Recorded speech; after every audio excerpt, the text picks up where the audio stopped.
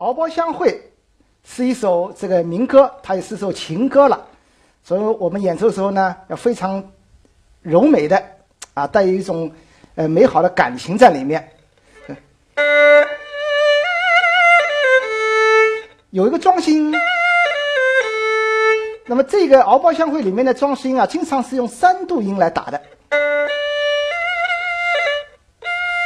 不是拉西拉，是拉的拉，哎。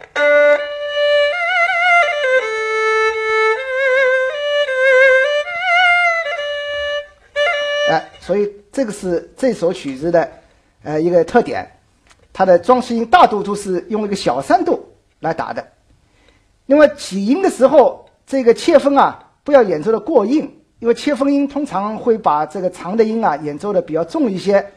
那么因为它是一首情歌啊，比较富有感情，所以呢我们起音的时候啊柔和一些。哎，第二句呢也是。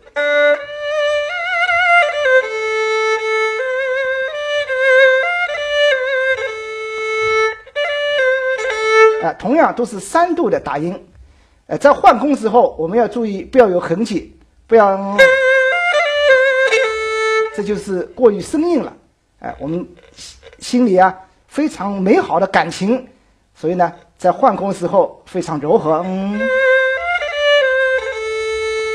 第三句呢，啊，我们演奏的比较柔和一些，音乐也可以弱一些。嗯。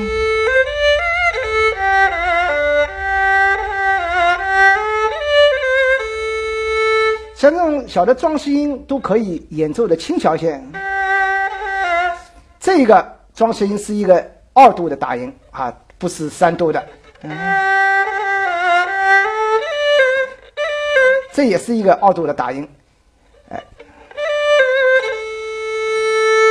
第四句仍然恢复到这个比较呃强一些的音量上，然后是一个结束句。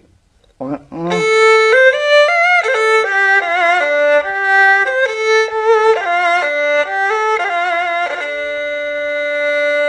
那么，它为了和第一句和第二句啊形成一个相呼应的关系，这就是几声转和嘛。到和的时候，在你的音量上，在你的感觉上，都要和前面的乐句啊相相对应。哎，这有一个用一个里弦做那个咪和空弦音啊，一定要在音准上哎统一，哎啊。这个哆哆上的打音啊，可以用三度的，拉上面也是用一个三度的打音，收音呢仍然是一个柔和的收音，不要收的过硬。总之，这首乐曲要演奏的非常富有内在的情感，这就是敖包相会要注意的要点。